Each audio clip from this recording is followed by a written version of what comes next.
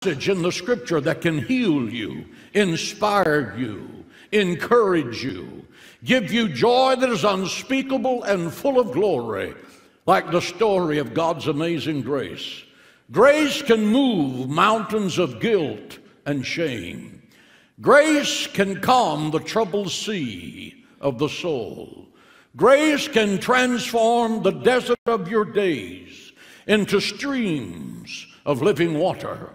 Grace can take you through the fire of adversity without the smell of smoke coming upon you. Grace is the unmerited favor of God. Say that with me. Grace is the unmerited favor of God. That means you can't earn it by what you do. God gives it to you because He is a God full of grace and truth. Grace is an ocean without a shoreline, whose depths have never been plumbed, whose endless healing power have never been realized. It has no boundary, it has no measure, it has no limit. There is not a shoreline that says the grace of God stops here. Grace will set you free from the tyranny of the past. Have you failed? Well, if you haven't, you will. So get ready. Did you make a wrong, wrong choice that stained your life? The grace of God is greater than all of your sin. It's greater than all the mistakes you have made or ever will make. Ask God's forgiveness. Experience His amazing grace. Forgive yourself. Live, love, laugh, and be happy. God is a God of new beginnings, and some of you need to start over again. Give the Lord praise in the house.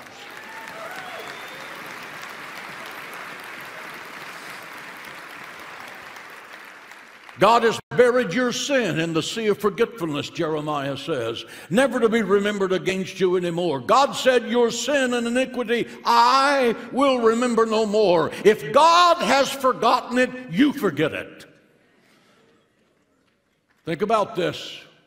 You need to stop talking about it. You need to stop thinking about it.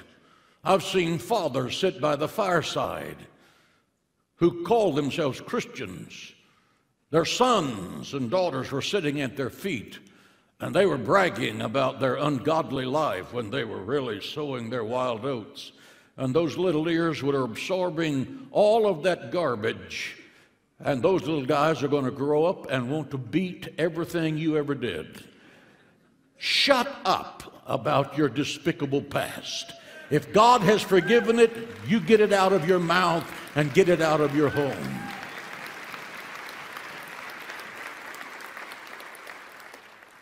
Now, with that lovely thought in mind, let's read Romans chapter 1, verse 7.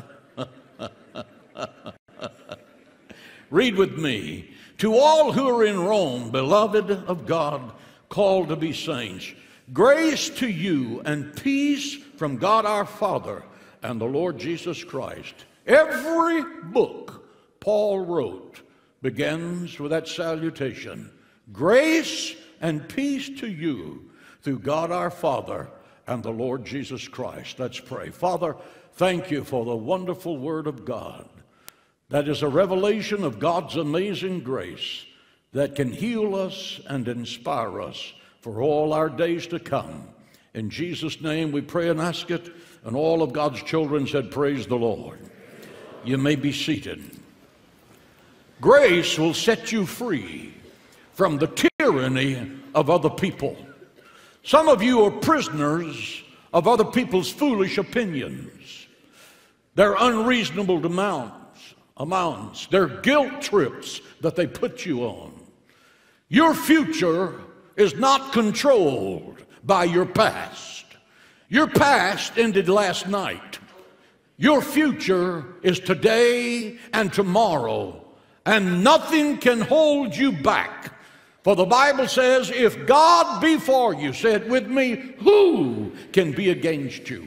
Regardless of what you have done, you're going to be blamed by somebody sometime for doing something wrong.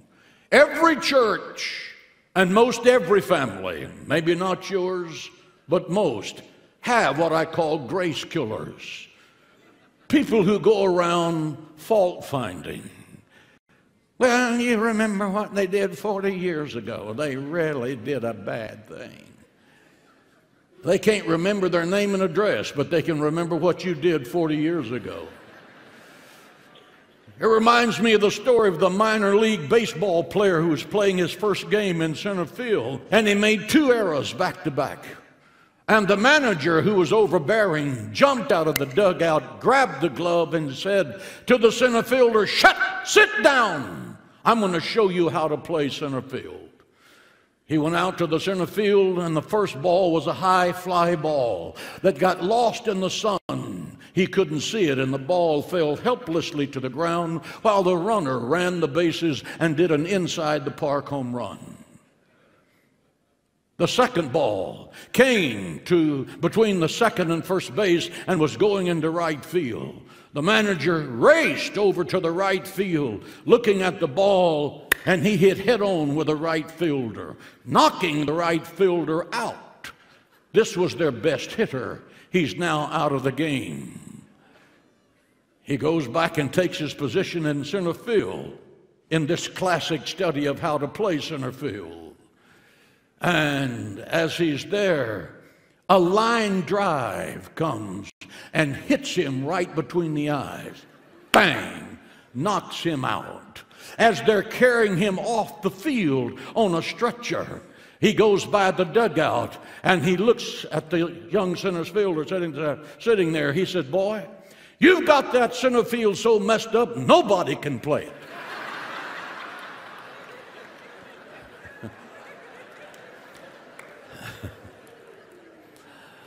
Many people are prisoners of other people's opinions.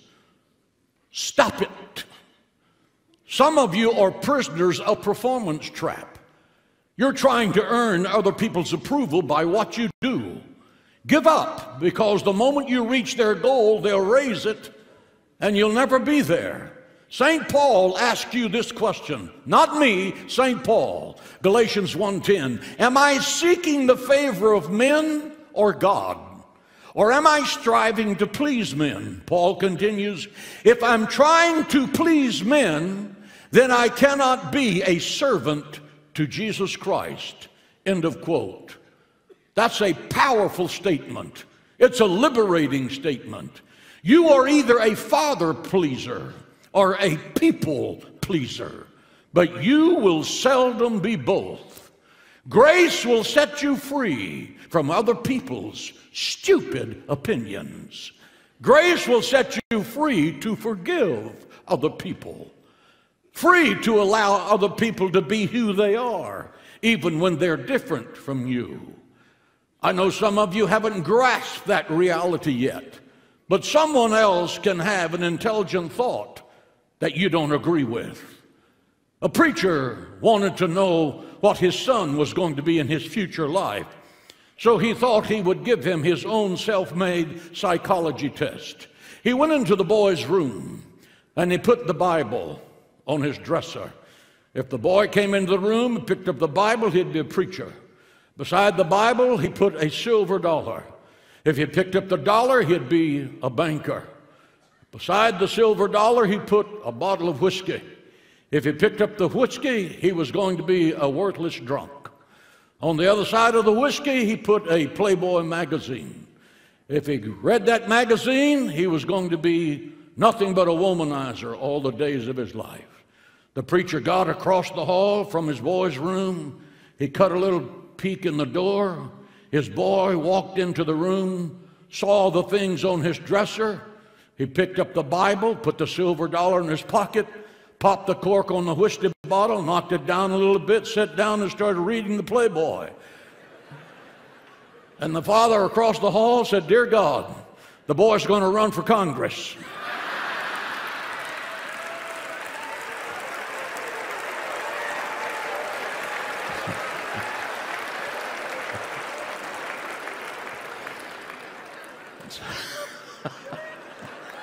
Hello, Washington.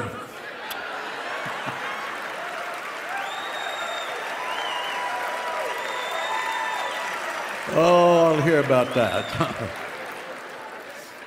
God's grace is greater than all of your sin. Say that with me. God's grace is greater than all of your sin. And people say, well, I've committed adultery. God's grace is greater than that. I've failed horribly. God's greater than all of your failure. I'm into the occult. The grace of God is greater than Satan's power.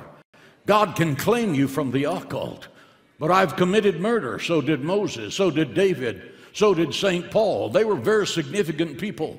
Some of you are in prison right now watching me saying, My life is over. When Christ comes into your life, your life is not over. Your life is just beginning.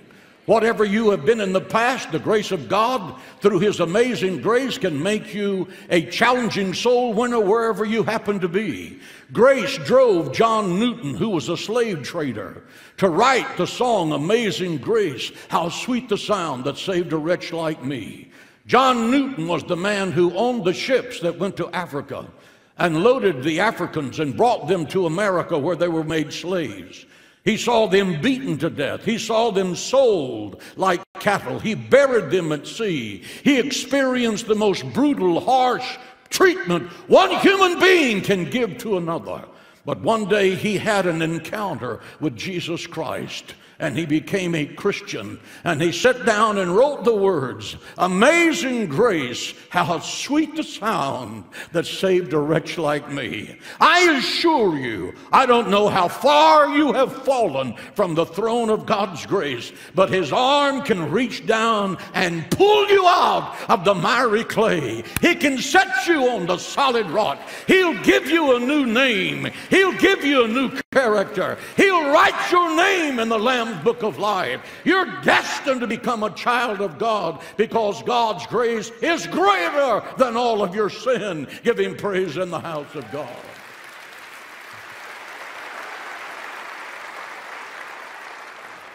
Now, all of you Pentecostals and Baptists, listen up.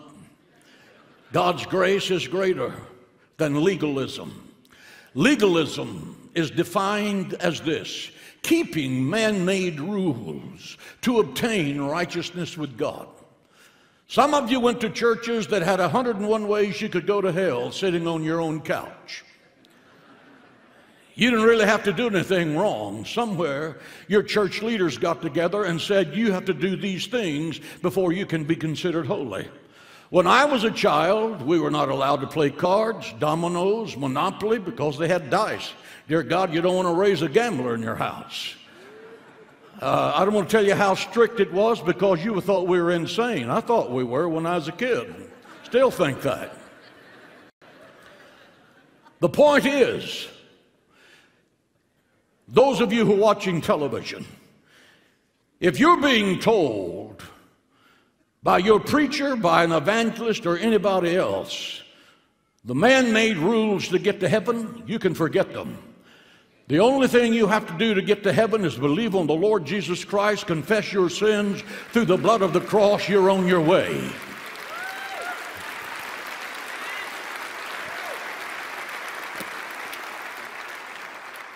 Paul said, if you can be saved by what you do, Christ died in vain.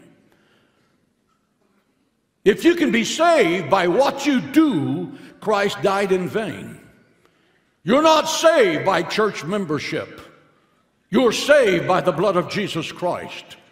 You're not healed by crawling down the aisle of a cathedral to kiss a stone image on the toe. You're healed because the stripes on the back of the Lord Jesus paid for your healing before he went to the cross. Only Jesus Christ and his cross can save, heal, and deliver you. Hallelujah for the cross of the Son of God.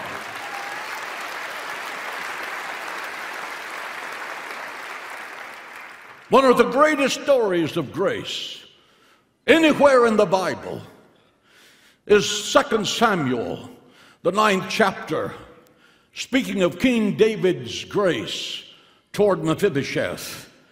And David said, Is there anyone who is left in the house of Saul?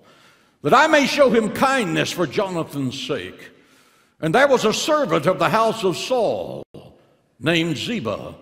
So when they had called to him, he said, The king said unto him, Are you Ziba? He said, Yes, at your service. Then the king said, Is there still someone in the house of Saul to whom I may show kindness, the kindness of God? And Ziba said to the king, There is still a son of Jonathan who is lame in his feet. I want to tell you that story because it is a story of God's amazing grace, and it's your portrait in the Word of God. Go back with me in the theater of your mind 3,000 years ago. We are in Israel. Israel is at war. King Saul and Jonathan have just been killed in a bloody combat on the hills of Gilboa. The news of their death reaches the city of Jerusalem. It was a brutal time in history where it was customary that all of the members of the royal family who survived should be killed so that no legitimate heir could come to the throne. When word reached Jerusalem that Saul and Jonathan had been killed, the nurse of Jonathan's infant son, his name was Mephibosheth. That name alone makes you appreciate a name like John or Tom, Harry, simple stuff. Mephibosheth. The nurse was racing out. She dropped him, and he was broken and both crippled in both of his feet. She took him to the land of Lodebar. Mephibosheth is five years of age. We don't hear anything about him for 20 years because he now lives in a place of desolation. That's what Lodebar means. A place of desolation, a place of extreme hardship. Years pass, and one day King David is sitting on the throne and he's remembering his dearest friend, Jonathan. And he asks a question that shattered the peace and tranquility of the palace. He says, Is there anyone in the house of Saul that I might show him mercy, kindness, the grace of God? It's a majestic statement of God's grace. Is there anyone, not someone who's brilliant who can serve me, not someone who's mighty who can lead an army, but is there anyone? I want, to hear you, I want you to hear this. That's the question the church in America needs to be asking the people in the streets of this nation. Is there anyone is there anyone who wishes to come to the cross of Christ? Not someone with the right education or the right amount of wealth or who has the right doctrine or belongs to our denomination or who lives in the right neighborhood or is the right race. We're not saving race here. We're saving human beings who have come to know Jesus Christ.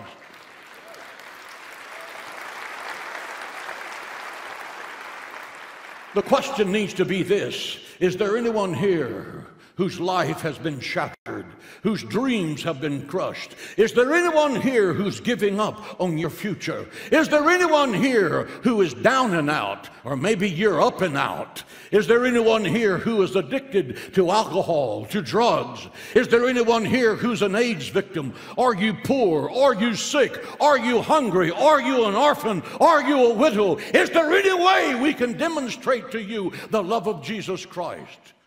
God's grace will give you a new beginning. Amazing grace, how sweet the sound that saved a wretch like me. Grace will give you a new day and a new beginning. It will bring you back from desolation and place you on the throne where you belong. Hallelujah to the Lamb of God.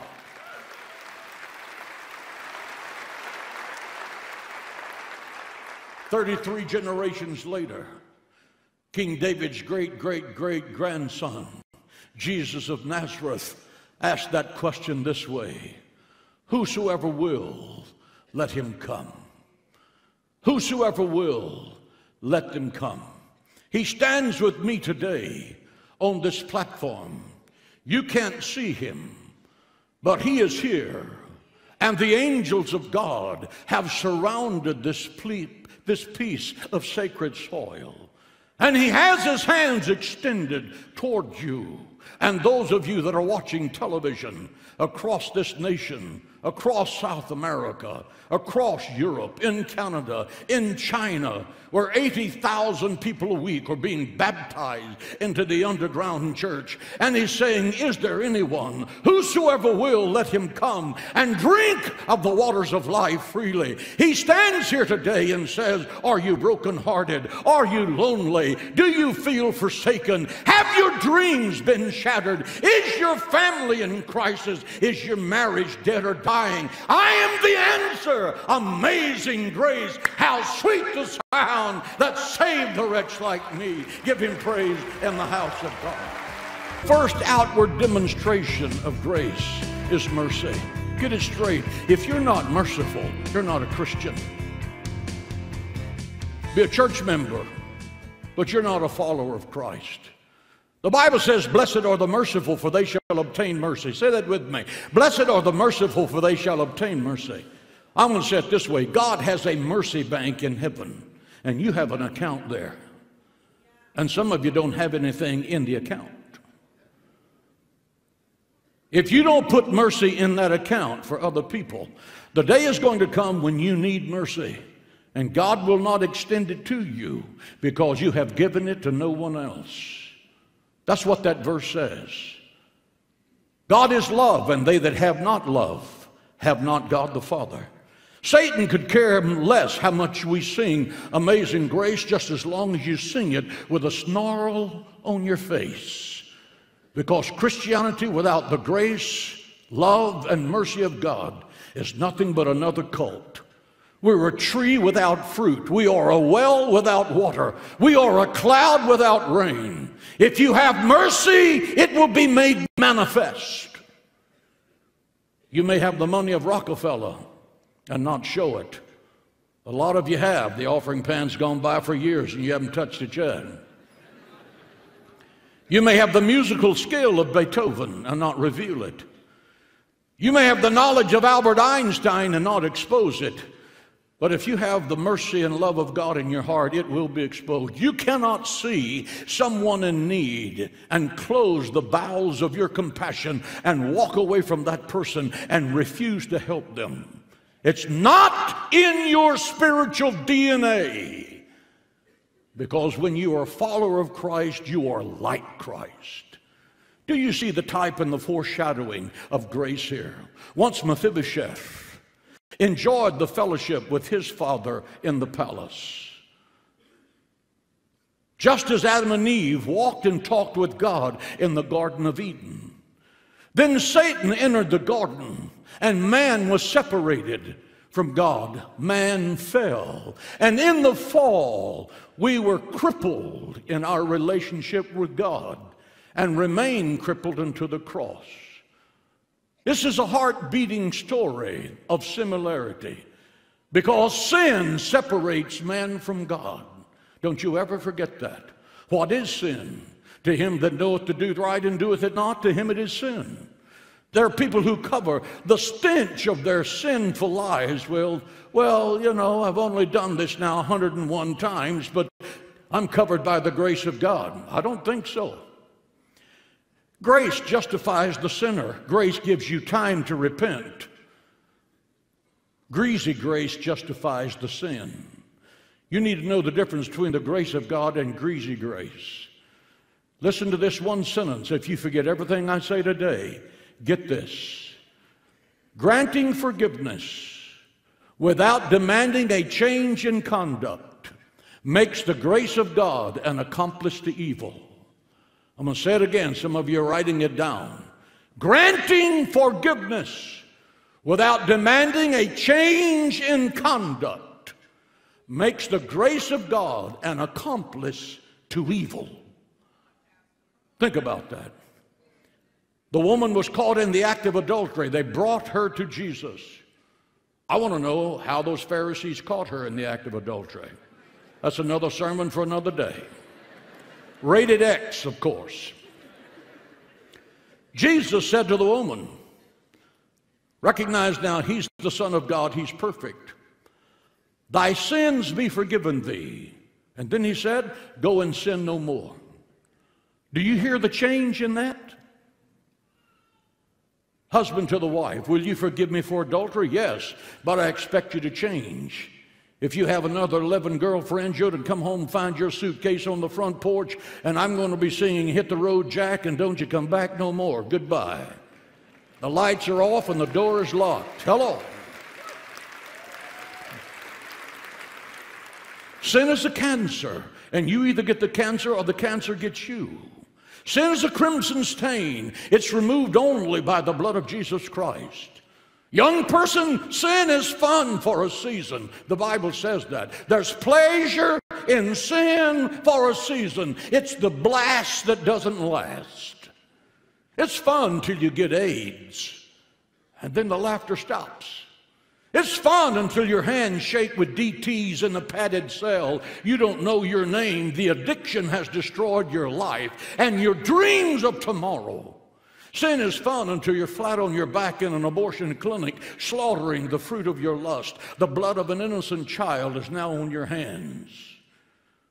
Sin is fun until your brains are fried with drugs and you don't know what day it is and you couldn't recognize your mother's face. You're a dead man. You are the walking dead. Sin will do that for you. Sin is fun until the nation is overrun with criminals and thieves and rapists and child abusers and drug lords and murderers like America right now. We have thrown the book away and now we are swimming in a moral sewer because we have forgotten the God of the Bible. It's time for the righteous. It is time for the army of God. It's time for those who name the name of Jesus Christ. It's time for we, the people who have have a moral fiber left in our being to stand up and speak up and say, Let God arise and let his enemies be scattered. We stand on this word without apology to anyone for any reason.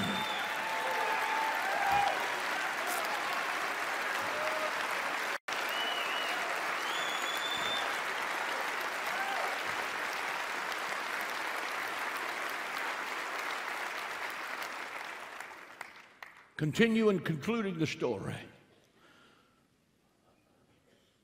Mephibosheth is hiding in a shack in Lodebar where he's been for 20 years,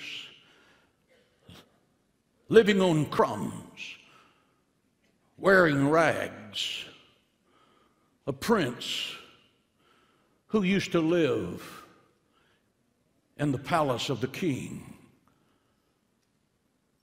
he is separated from that palace. And now we hear King David's message Is there anyone? King's, King David sends a royal chariot to pick up Mephibosheth.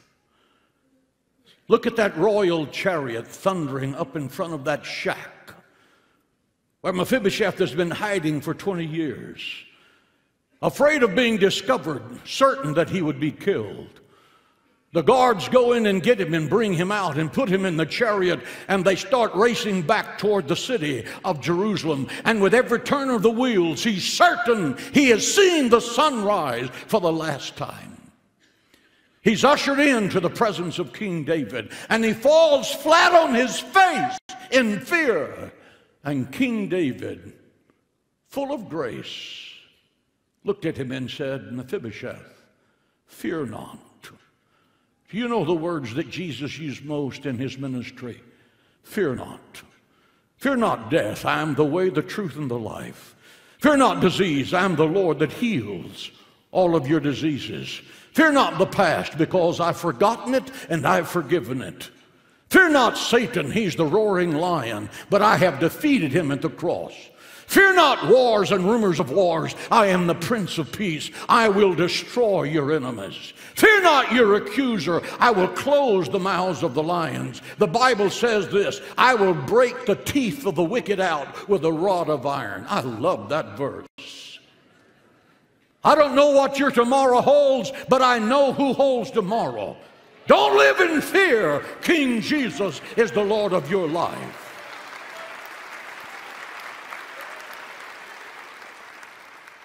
David looked at Mephibosheth and said, I'm going to restore all that you lost at the fall. At Calvary, Jesus Christ, my heavenly David, restored all that we lost in the fall in the Garden of Eden. In the fall in the Garden of Eden, we received death. Jesus at the cross gave us eternal life, saying, He that believeth in me shall never die. Say that with me. He that believeth in me shall never die.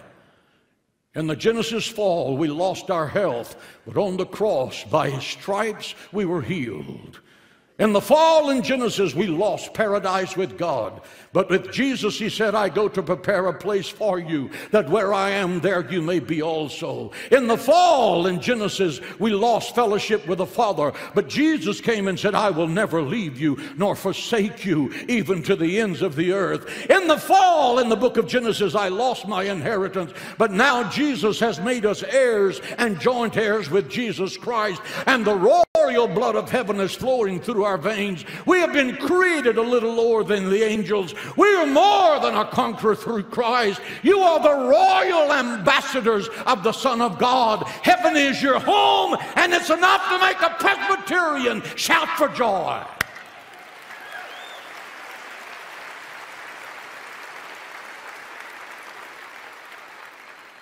I close with this statement. The text reads So Mephibosheth lived in Jerusalem, and he ate at the king's table.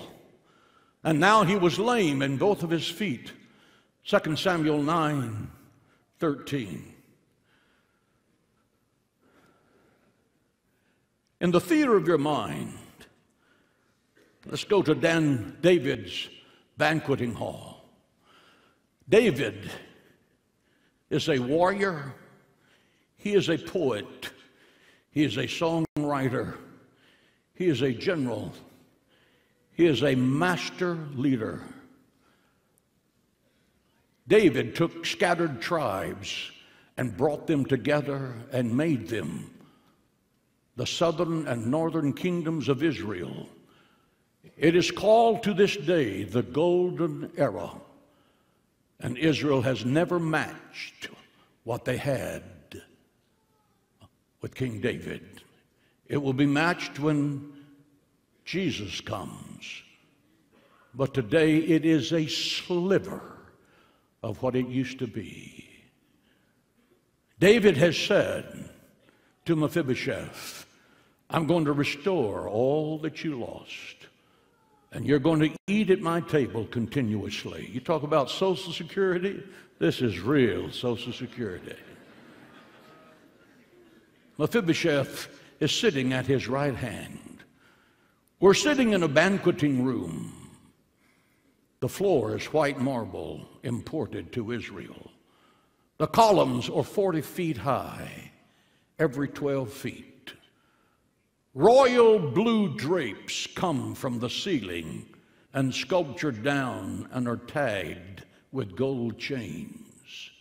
Guards are standing at either end, and a well trained waitstaff is now beginning to bring the food in as the other guest comes.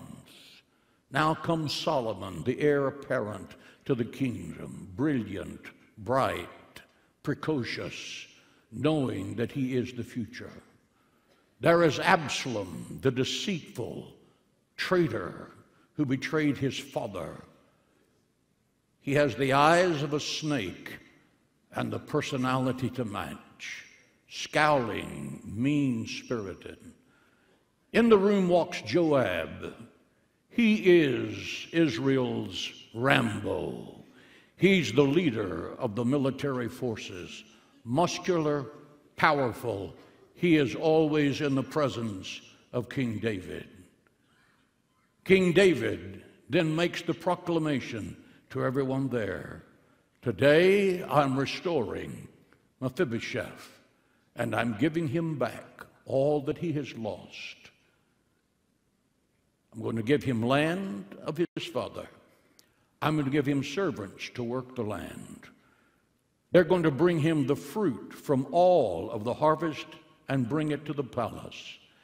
He will be here as long as he lives because he has come home. This is his home.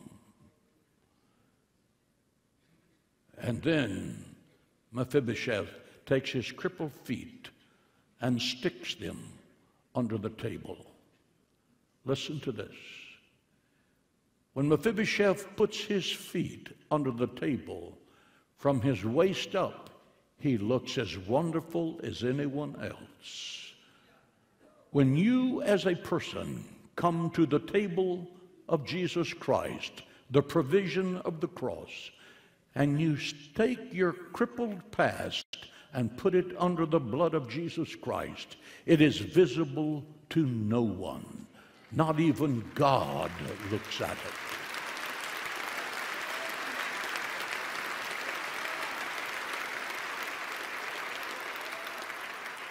From his waist up, he is perfect. And when you come to the Lord, suddenly all of the mistakes, the errors, the tragedies of the past are buried, never to be remembered anymore. If Jesus could have this microphone for 30 seconds, this would be his message today. I know that you're not ready to meet me in the clouds of glory, but I want you to come home. I want to restore you. I want to give you a mansion of splendor. I want to give you a dazzling white robe. I want to give you a crown. I want you to have everything back that was lost in the Genesis fall because you belong to me. Think about it. God the Father and His Son are saying, Come home. Can you stand to your feet and bow your heads in the presence of the Lord? How many of you in this room can say, Pastor, there is sin in my life. I know that I'm not where I should be with God. And I want today to experience the amazing grace of God. I want to be forgiven of all of my wrongdoing and I want to come home to the Father. If that describes you, can I see your hand? Would you slip it up now? God bless you. Dozens raising your hand. Dozens raising your hand. Raise them high. Raise them high. Raise them high. In the balcony. Let me see. God bless you. God bless you. God bless you. As the quartet sings this song, every one of you that have raised your hand, I want you to come forward. I'm going to have a prayer with you. And when we have that prayer, God is going to wipe your slate clean in heaven. The angels are going to write your name in the Lamb's Book of Life. And you will have regained all that you lost in the Genesis fall. As they sing, you raised your hand. I want you to come home to the Father. Come now.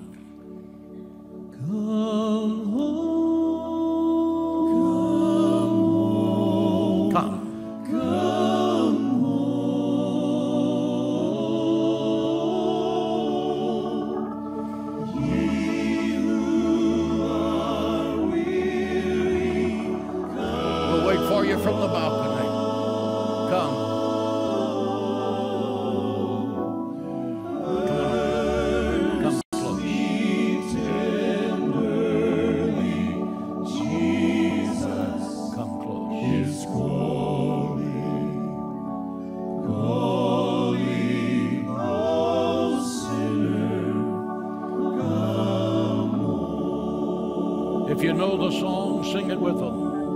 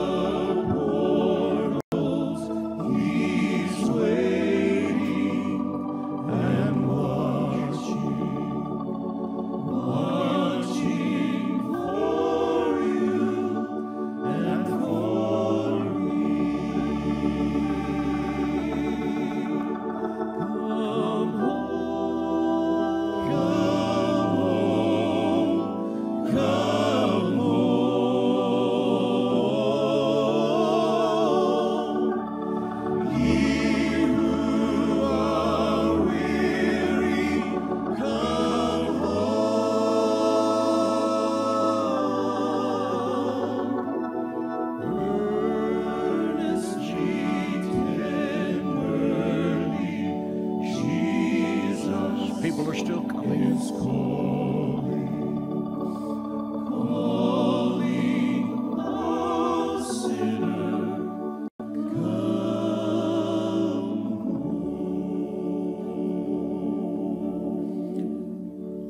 There are hundreds of people that have come today to receive Christ.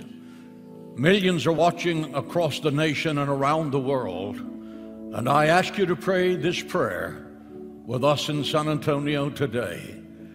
Heavenly Father, Heavenly Father, in the name of the Lord Jesus Christ, in the name of the Lord Jesus Christ, I ask you to forgive me of all of my sin. I ask you to forgive me of all of my sins. Cleanse me from all unrighteousness. Cleanse me from all unrighteousness. And write my name today Write my name in the Lamb's Book of Life. in the Lamb's Book of Life. I'm coming home to the Father. I'm coming home to the Father.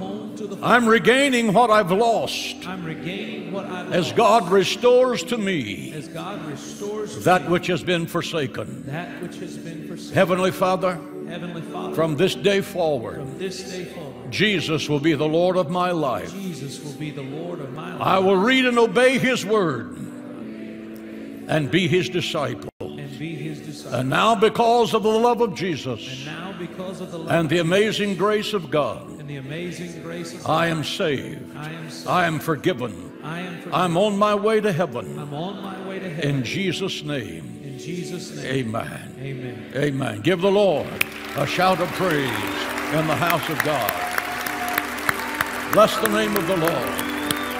Bless the name of the Lord. Bless the name of the Lord. Amen. Amen. Amen.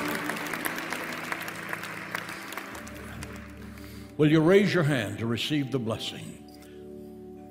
May the Lord bless you, and may the Lord keep you. And may the Lord make his face to shine upon you.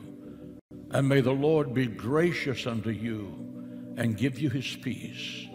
May you walk in the confidence that all you have lost will be regained, that you are royalty in the kingdom of God, that the royal blood of God the Father now flows in your veins because you have been redeemed by the precious blood of Jesus Christ, the Son of God. By the authority of his name, we pray and say,